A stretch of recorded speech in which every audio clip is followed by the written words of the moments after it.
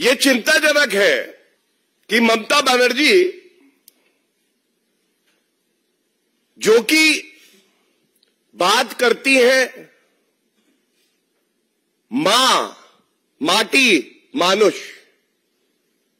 और उसी प्रदेश से आज मदर ऑफ़ ऑल स्कैम्स, सबसे बड़ा भ्रष्टाचार सामने आ रहा है। आप सोचिए सीएजी रिपोर्ट में जो तथ्य सामने आए हैं, जब एक नोशनल वैल्यू 2G घोटाले को दी गई थी तो वो भी एक लाख छिहत्तर हज़ार करोड़ के आसपास था।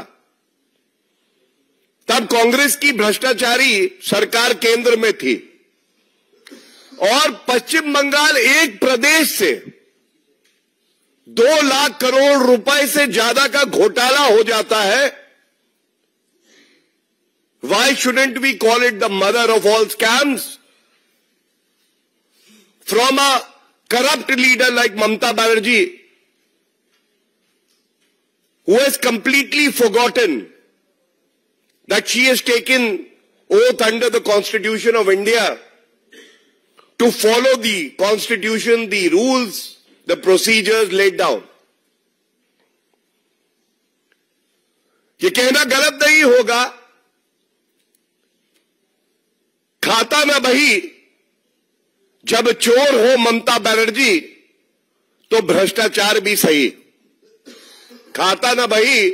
जब चोर हो ममता बनर्जी तो भ्रष्टाचार भी सही। और ये बात मैं इसलिए उजागर कर रहा हूँ हमें एक बात समझनी होगी, अभी कुछ सप्ताह पहले सुकांत जी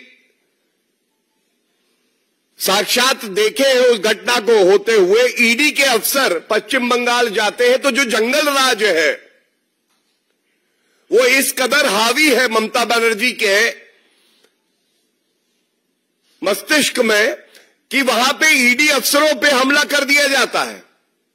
क्या संदेश देना चाहती थी ममता बनर्जी। कानून से मैं ऊपर हूँ। केंद्र से भी अगर रुपया आएगा, प्रदेश की आमदनी जो होगी, मैं लुटा डालूँगी। लूट खसोट चोरी होगी। धोखाधड़ी मैं करूँगी। जब संवैधानिक संस्था, कंट्रोलर एंड ऑडिटर जनरल, जो कि संवैधानिक संस्था है, हमसे हिसाब मांगेगी तो मैं कहूँगी ठेंगा नहीं दूँगी, जाओ। ये करारा तमाचा मारने का प्रयास है ममता बनर्जी का पश्चिम बंगाल की जनता के गाल पर। पर वो भूल गई हैं। जब कानून का डंडा पड़ता है तो अच्छे अच्छे भ्रष्टाचारी भी सीधे हो जाते हैं।